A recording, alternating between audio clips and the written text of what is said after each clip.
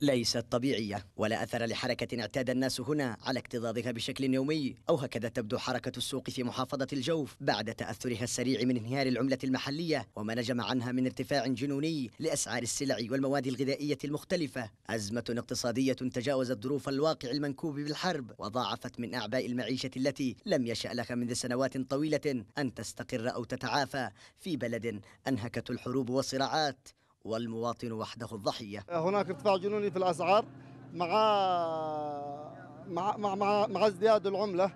المواطن هو الضحية. أيضا بعض الناس هناك مقاولون مقاولين تقاولوا بالعملة اليمنية. موجة سعرية خانقة.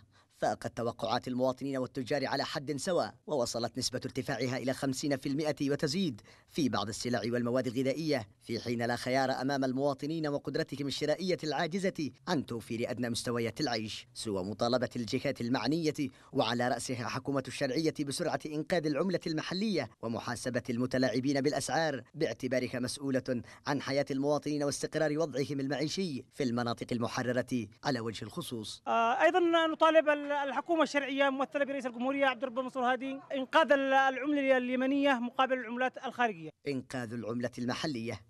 عبارة تختصر واقع البلاد وما آلت إليه من كوارث.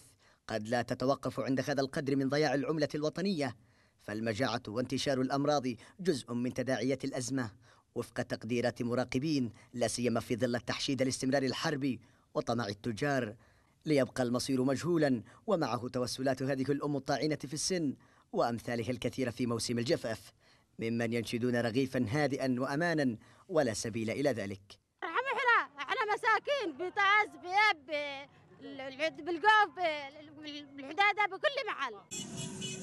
على قلق تمضي الأيام هنا وفق معادلة الأزمة الاقتصادية غير المتكافئة لتبقى رهانات هؤلاء في النجاة من طوفان الأزمة أقل بكثير من تربص تجار الصراع وشهية استمرار الحرب.